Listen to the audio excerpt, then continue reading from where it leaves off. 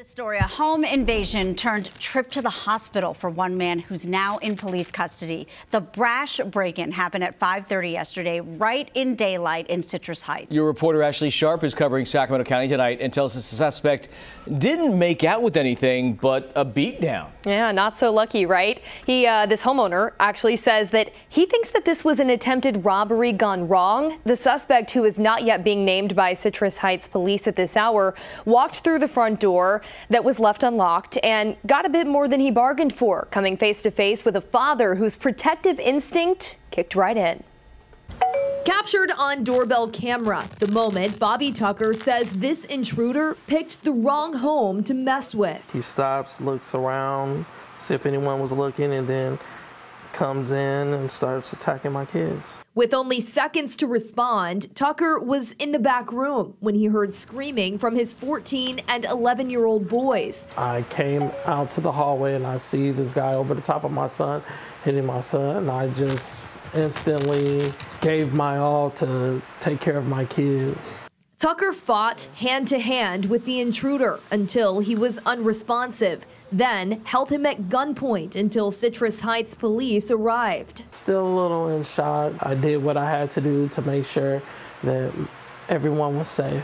The 29 year old suspect that so brazenly walked in the front door left on a stretcher. Citrus Heights police confirmed Friday the suspect is still in the hospital, but in police custody, expected to face charges of robbery and assault. It makes you feel unsafe, makes you feel like, oh, I want to move somewhere else. Tucker left wanting more security cameras at his home. And when he watches this video, he sees a scary encounter that could have been much worse. The kids, they were traumatized.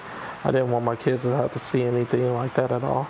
Tucker says his children were punched and choked, but will be okay. This father glad he was in the right place at the right time when a would-be robber walked through the front door.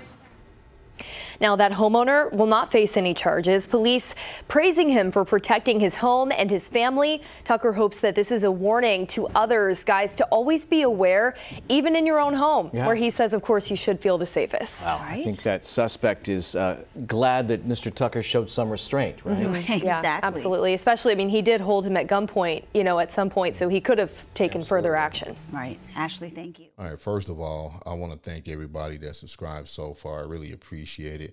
I know I don't do that enough. Um, but with this situation, I, I, shouldn't laugh, but it, it's just something about it. I mean, when people do stuff like this and the tables are turned on them, uh, I, I, don't know what, what it is. I don't know. Maybe it's the drugs or they're just stupid or just maybe both. But if you run up into somebody's home and you're not supposed to be there, then you're asking for trouble. And then attack somebody's child. Look, people people don't play when it comes to their children. You know, this guy was in a place where he was not supposed to be, and he attacked uh, this man's uh, children.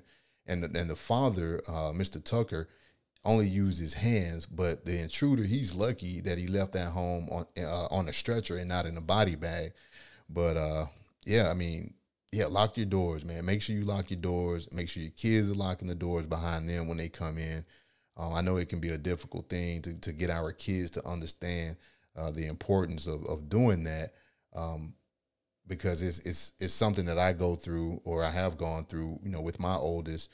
Um, kids, I don't know, they just have other things on their minds and they get so caught up in these other things that they forget about safety. But we have to get them to understand that there are some people in this world who look for opportunities to take advantage of us and to possibly harm us even when we're inside our own homes.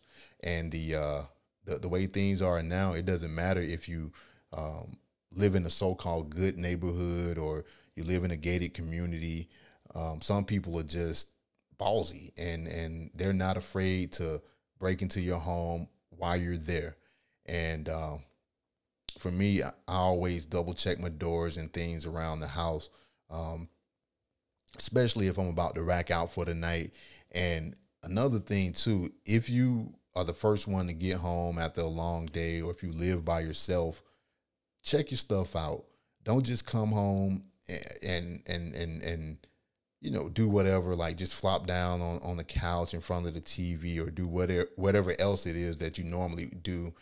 Uh, get into the habit of, of checking uh, checking your stuff out and, just making sure that nobody uh, you know came onto your property tampering with stuff trying to get in because uh, I mean even though you may have a security system uh, you got to think about the stuff that the security system doesn't pick up um, you know uh, around your home and everything like that but um, kudos to Mr. Tucker in that situation for doing what he needed to do to uh, get this man um, off his son and away from his children, and for also showing great restraint because he he held that guy at gunpoint after he gave him that beat down. And um, I, I, think this could have been a lot worse, you know, for the intruder uh, had Mr. Uh, uh, Mr. Tucker, you know, came out of that uh, room with his firearm, and you know, who knows? You know, well, we know how that would have went, but um, for the guy that broke in, maybe this will be the thing that puts him on the straight and narrow path going forward, and uh, maybe he'll think twice, you know, before doing something like that again. But y'all take care, stay safe, make better choices. Remember that your home is your castle. Defend it like one. Peace.